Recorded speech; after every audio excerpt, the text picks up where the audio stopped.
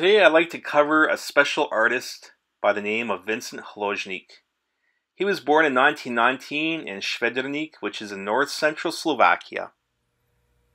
From 1937 to 1942 he studied in the School of Applied Arts in Prague. He worked at Matica Slovenska, which is in Martin, Slovakia.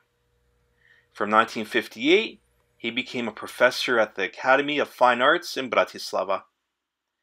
He painted, was an illustrator, sculptor, and he did graphic art specializing in Expressionism. In fact, some people called him the Picasso of Slovakia. This first print, Tento syn bol satani anashilsa, it's a verse from the Bible, Luke 15:24. My son was lost and now is found is the English translation. A father reunited with his lost son, and they are celebrating with many special guests. In his abstract graphics, you can see humanism and critical realism. Vincent focused on the spiritualism of life feelings. I bought this print and an additional print at a local secondary market for my 50th birthday. I took to heart the fact of respecting others and reconnecting with friends I've hurt or have hurt me. This is still an ongoing journey that I hope will end with celebration as well as forgiveness. The second print is the image of the crucifixion. I happen to have number 148 of 200.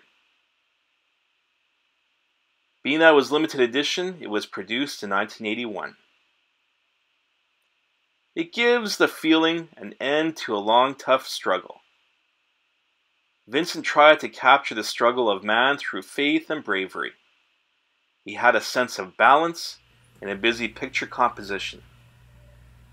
His use of shattered, fragmented space is highlighted by the contrasting darkness, along with the vibrant colors.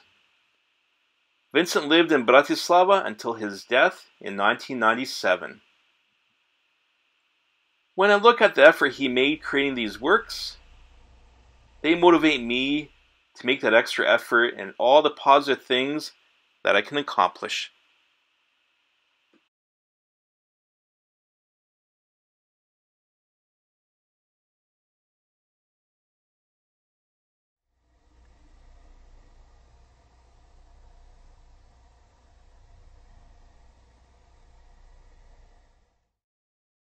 Please subscribe to my channel by clicking the link down below. You also may leave a comment and I will respond. Cheers.